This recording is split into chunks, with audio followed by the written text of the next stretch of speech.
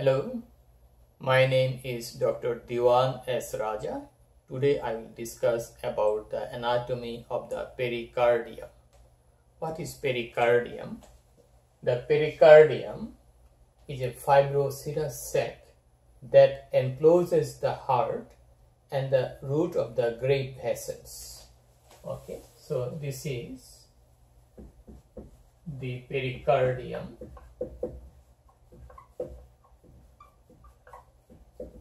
is a fibroserous sac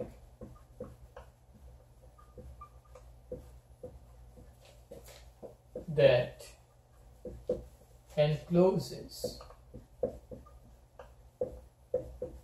the heart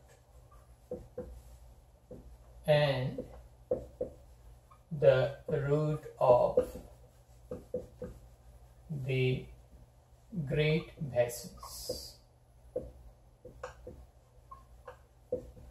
Okay.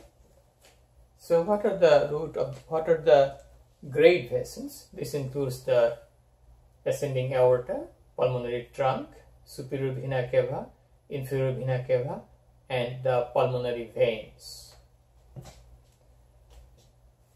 So this is our heart inside a sac. This sac is the pericardium. So heart is covered by a sac that that is a fibroserous sac that is the pericardium.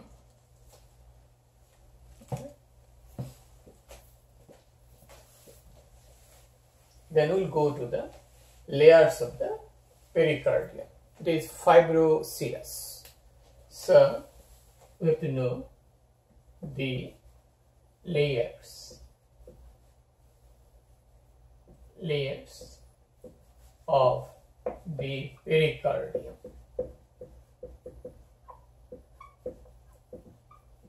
Okay, so have fibrous pericardium,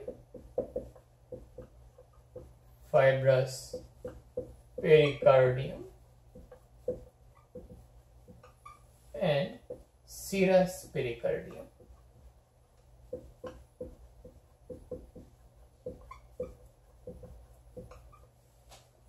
The serous pericardium has two layers. One is parietal layer, another one is the visceral layer. So these two layers, the parietal layer, parietal layer, another one is the visceral layer of the serous pericardium. The visceral layer of the serous pericardium is also also called epicardium. Also called epicardium. That is the outer wall of the heart. So, if you go to look at that, fibrous pericardium, this is outside fibrous pericardium. Then inside this layer is the parietal layer of serous pericardium and the shiny layer over the heart is the visceral layer of serous pericardium or epicardium. Okay. So if you compare with my coat, this is the fibrous pericardium, this short underneath this, this is the parietal layer of serous pericardium. My skin is the visceral layer of serous pericardium, like that. So we have fibrous pericardium. This layer is the parietal layer of serous pericardium and the shiny layer on the wall of the heart is the visceral layer of serous pericardium also called epicardium. Okay, we got that. So what is the purpose of the pericardium? What is the function of the pericardium? Pericardium is to contain some important structure. It, it contains, if you go to the functions, so we have to say what is its, what are its function? It contains the heart and the root of the of the great vessels like the ascending aorta, pulmonary trunk, superior vena cava, inferior vena cava, left and right pulmonary veins. Okay, this is one of the function to contain them. Another one is that it prevents overfilling of the heart. Okay, prevents over over filling of the heart. So in that way, it also protects the heart. So that is the function of the of the pericardium. Now we'll go to the attachment attachment of the pericardium attachment of the fibrous pericardium We'll go there the fibrous pericardium the fibrous pericardium is attached to the to the tunica adventitia of the great vessels. Tunica adventitia is the outer wall of the blood vessel. We know that blood vessel has three layers: tunica adventitia, tunica media, and tunica intima. So fibrous pericardium is attached to the to the root of the is attached to the root of the tunica adventitia, tunica adventitia of the great vessels like the ascending aorta pulmonary trunk superior vena cava, inferior vena cava, and the pulmonary veins. So that is one attachment. Okay, and its attachment to the ascending aorta reaches up to the level of the sternal angle, the junction between the manubrium sterni and the body of the sternum. Okay, so there is one attachment. It is also attached to the at the lower part of the fibrous pericardium it is attached to the to the central at the periphery of the central tendon of the diaphragm. Okay. It is attached inferiorly to the central tendon of the diaphragm. So superiorly it goes to the root of, root of the blood vessels, especially all the blood vessels including the ascending aorta and it is adherent to the blood vessels tunica intima. It is attached inferiorly the lower part to the central tendon of the diaphragm of the diaphragm and this attachment is called phrenicocardiac ligament. Okay that attachment is called phrenicocardial. You can say phrenicopericardial phrenico-pericardial ligament. Ligament. Okay we got that or we can call it pericardiophrenic ligament, be more appropriate to say. Pericardio, pericardiophrenic ligament, that will be correct. Okay. Terminology. It is the pericard, card, cardio or peric, ligament or pericardiacophrenic ligament okay. We got that. The attachment here. So if we go on the anterior aspect of the pericardium anterior aspect of the pericardium is attached to the posterior surface of the sternum by means of the sternopericardial ligament.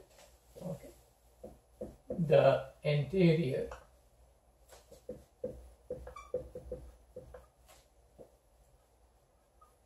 surface of the pericardium.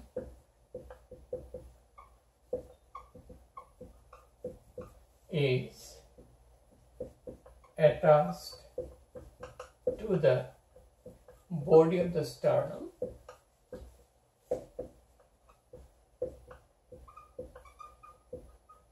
By sternopericardial ligament, sternopericardial, pericardial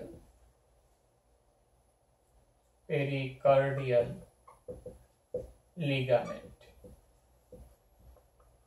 Okay, these are the sternopericardial ligament. Two, maybe three sleeves of cardio, I mean the sternopericardial ligaments.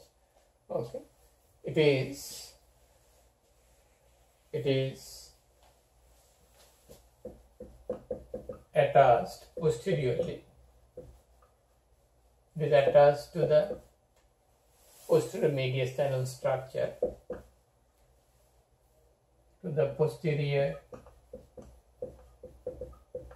mediastinal structures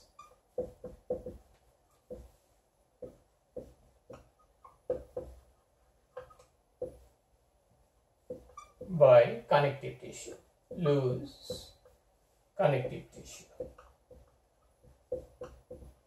Okay. And it is covered on each side by the mediastinal pleura. It is covered on each side by mediastinal pleura mediastinal pleura. And you must know that fibrous between the mediastinal pleura and fibrous pericardium, the phrenic nerve and pericardiaco-phrenic vessel passes. Okay, that is important to remember.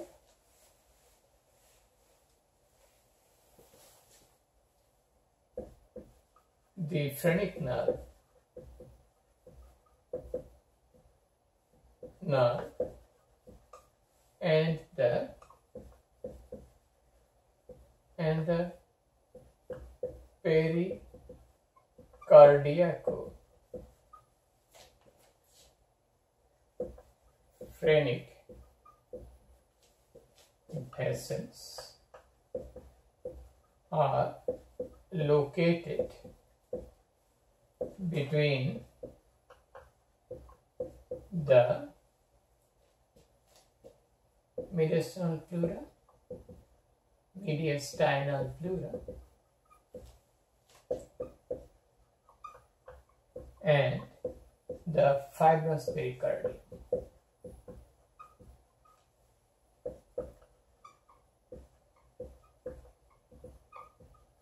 In fact, it, it is embedded, these blood vessels are, it, are embedded in the fibrous pericardium covered by the mediastinal pleura. So, phrenic nerve and the pericardiaco-phrenic vessels, we can call they are embedded.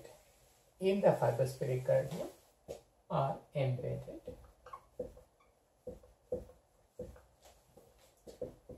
In the fibrous embedded. In the fibrous pericardium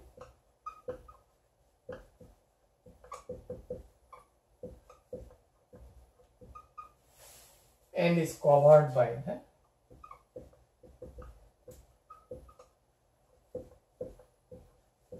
by the mediastinal pleura.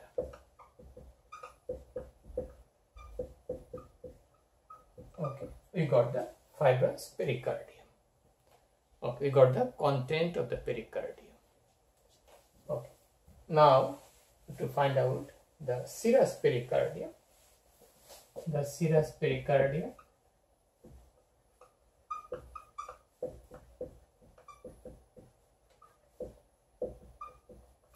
The serous pericardium is lined by the simple squamous epithelium. And we know that fibrous pericardium is a fibrous tissue composed of collagen fibers. Serous pericardium is lined by simple squamous epithelium.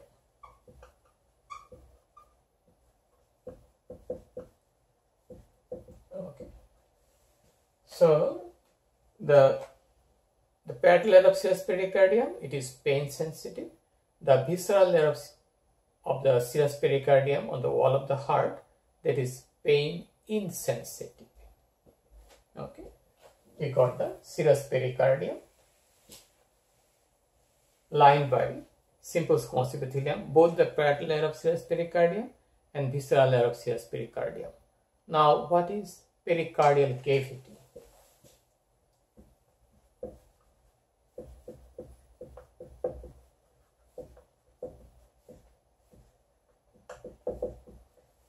The pericardial cavity is a potential space between the parietal pericardium and serous between the between the parietal layer of serous pericardium and visceral layer of serous pericardium.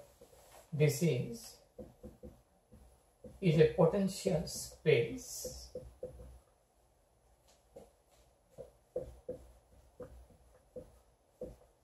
between the parietal layer and visceral layer of the serous pericardium. Okay, we got that. Okay, we got that. So we got the we got the we got the pericardial cavity. This is the part of intraembryonic coelom. This is a part of intraembryonic coelom, coelom in, in, in its development, intraembryonic coelom in its development. Okay, we got that. And the pericardial cavity is a potential space. It contains only a few ml of serous fluid that help in frictionless expansion of the heart. Heart always expand, that is the diastolic contract, it is a systole. So this frictionless movement of the heart is maintained by very small amount of fluid that help so that the heart heart can move without any friction. So it contains contains a few ml of serous fluid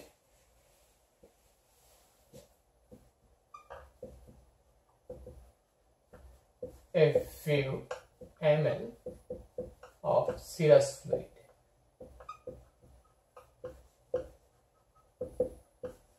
for the frictionless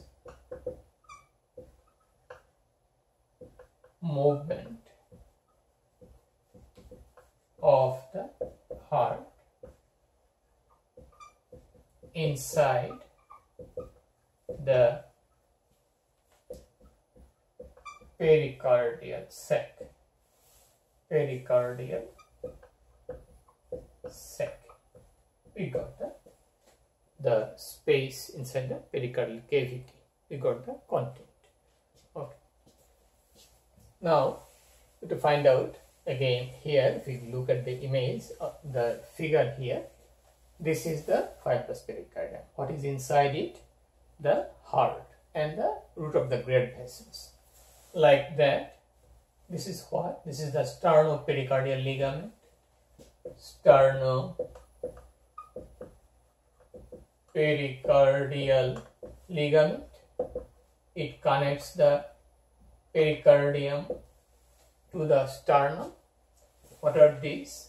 These are the pulmonary veins. How many pulmonary veins we have? We have four pulmonary veins, two left pulmonary veins, left superior, left inferior, right superior, right inferior. Okay, we'll get that. and this is the pulmonary veins and this is the aorta ascending aorta arch of the aorta. This is the inferior vena cava inferior vena cava okay? Here inferior vena cava. This is the superior vena cava okay? This is ivc this is svc okay? This may be the azygous vein this is pulmonary artery pulmonary pulmonary artery. Okay one of the pulmonary artery another pulmonary artery is here. They come out of the pulmonary trunk. This is the ascending aorta. Ascending aorta. This is arch of the aorta. This descending thoracic aorta. Okay so pericardium is here. Pericardium above will be blended with the tunica adventitia of the blood vessel. Below it attaches to the diaphragm to the central tendon. This part is the central tendon of the diaphragm. Tendon of the diaphragm. Okay we got that. So we got the attachment of the pericardium. Pericardial cavity content of the pericardial cavity now we'll go to the subdivision inside the pericardium. We have two sinuses. Sinuses. Within the pericardium. Pericardial cavity okay. So we have two subdivision the pericardial cavity one is the transverse sinus.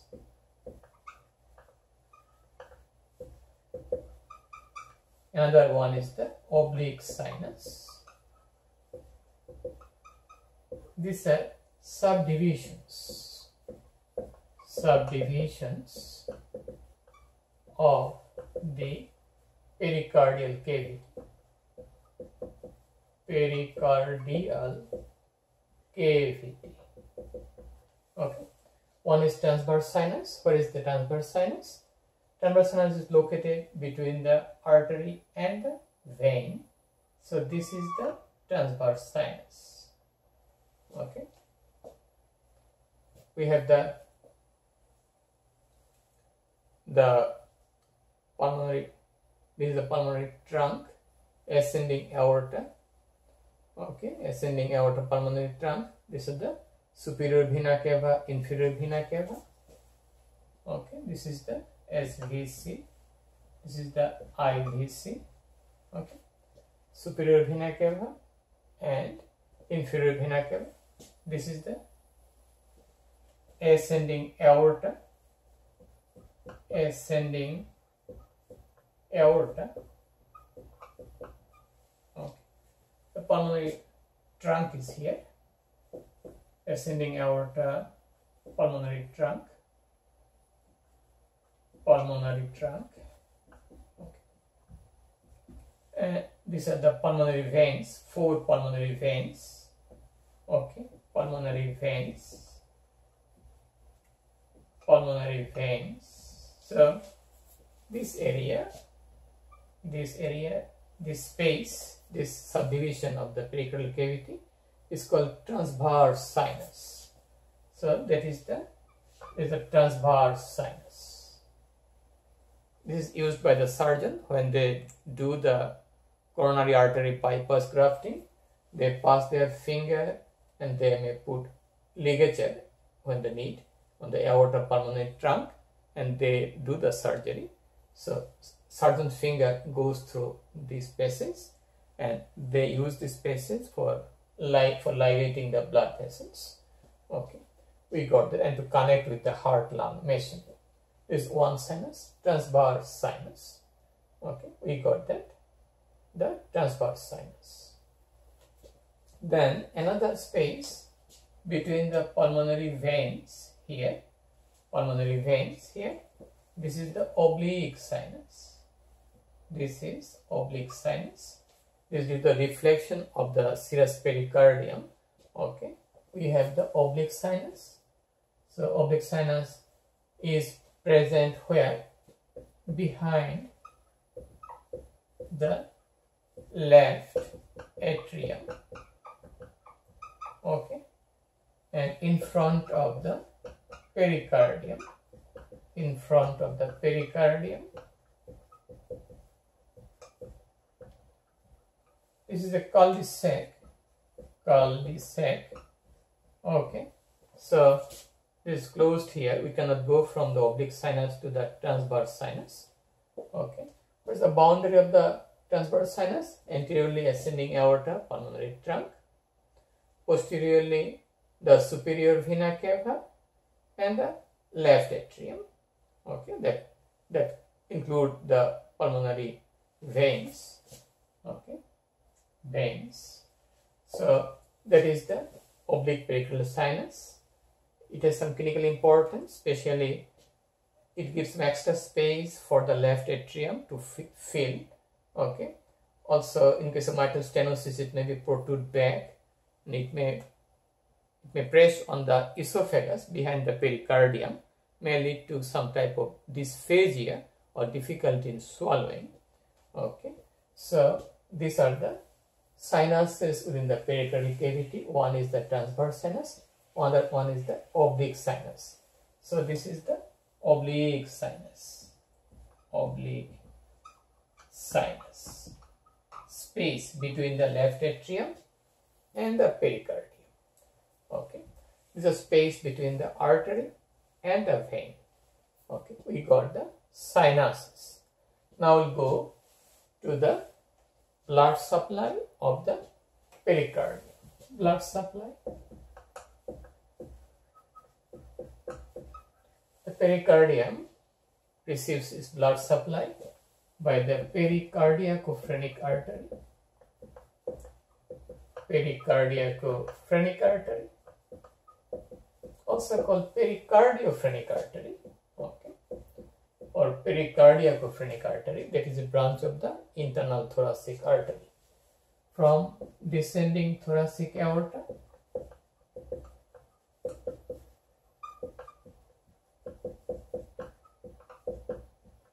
okay it gets blood supply from the superior phrenic artery superior phrenic artery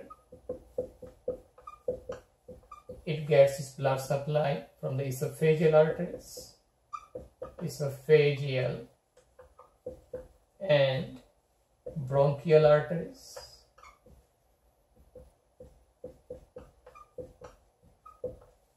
It is receiving blood supply from superior phrenic artery and also from inferior phrenic artery, superior and inferior phrenic artery phrenic arteries, we got the blood supply. So, pericardiacophrenic artery is a branch of the internal thoracic artery. Internal thoracic artery is a branch of the subclavian artery. So, this is the blood supply, arterial supply. Certainly, we have also venous drainage that will follow the, the arteries so we'll get the pericardiacophrenic vein. Those are usually the tributaries of the brachiocephalic vein. Okay. We'll get the venous drainage through the azygos vein. So pericardiaco cardiacophrenic vein also azygos system of veins. These are the veins associated with the venous drainage of the pericardium. Now we'll go to the nerve supply. Okay. Nerve supply is very important. The fibrous pericardium and parietal layer of serous pericardium are innervated by the phrenic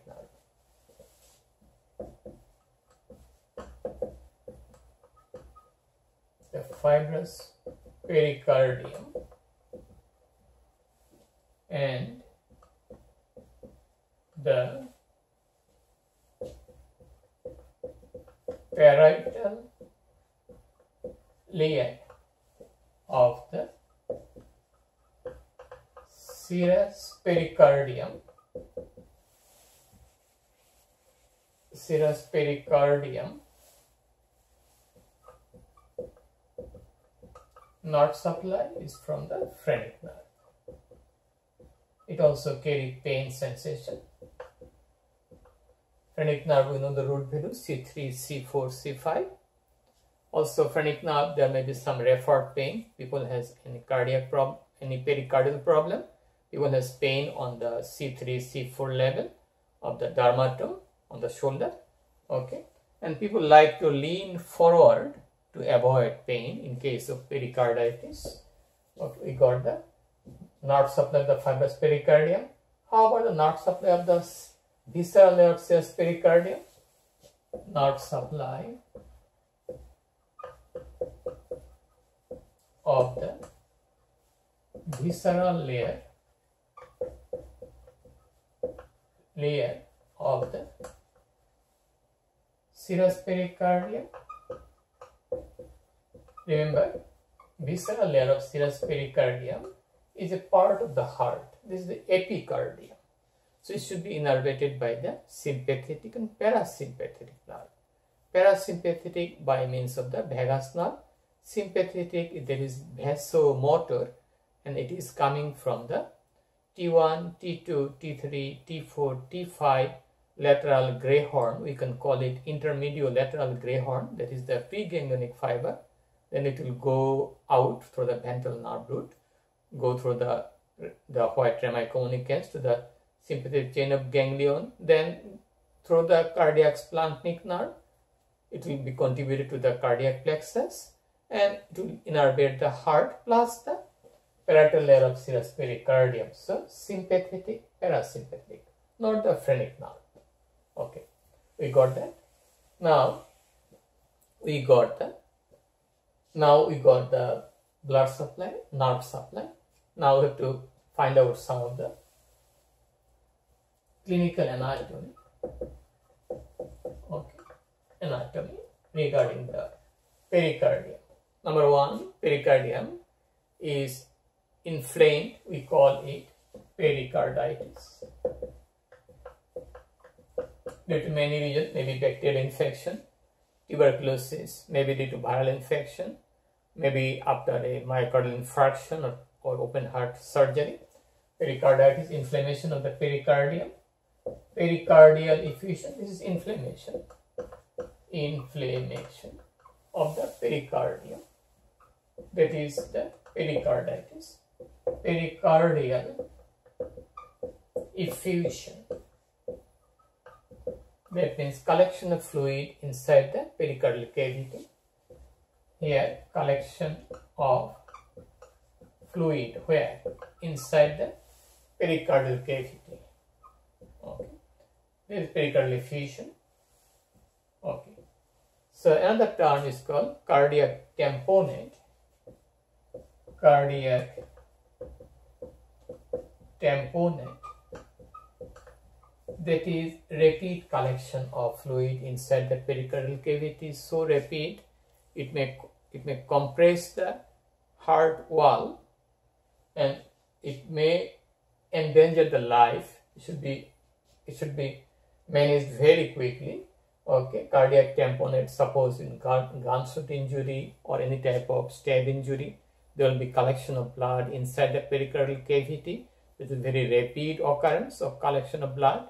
Fibrous pericardium cannot give some space for that. So the collection of blood, especially the thick fluid like blood, will compress the, the heart wall, especially the right atrium, right, ventri right ventricle, and superior vena cava, and there will be engorgement of the vein, and we must send the patient to the emergency department for pericardiocentesis. So we need pericardiocentesis. Pericardio centesis. There is aspiration of fluid from the pericardial cavity. Both are the indication, but this is we need very quickly to do that. Pericardial effusion, it may build up gradually. Here, due to trauma or damage, there will be very quick collection of blood inside the pericardial cavity. We do pericardiocentesis, that is the aspiration of fluid from the pericardial cavity. The cavity. Okay, we got that cardiac tamponade. Okay. Another term is called constrictive pericarditis.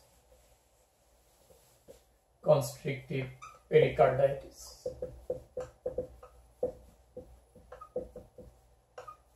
Okay. In this condition, the fibrous pericardium is very thick, so heart cannot expand properly. There will be right-sided heart failure, low pulse. Okay, that should be managed by the surgeon, by the cardiac surgeon, the constrictive pericarditis. Okay, so in case of constitutive pericarditis or cardiac tamponade, we'll get increase in jugular venous pressure on inspiration. Normally on inspiration, jugular venous pressure should go down, but in case of cardiac tamponade or in case of constrictive pericarditis, jugular venous pressure will be increased during inspiration. We call it Kussmaul sign. Kussmaul sign. Okay, that is increased jugular pressure on inspiration. Okay, we got that. In case of constrictive pericarditis, we will get Kussmaul sign plus we'll also get peripheral edema, right-sided heart failure. Okay, so these are the clinical part of our pericardium so if you like my video, please support my channel. Please share the information with your friends. If you have any question, please feel free to ask me. Have a nice day. Bye now.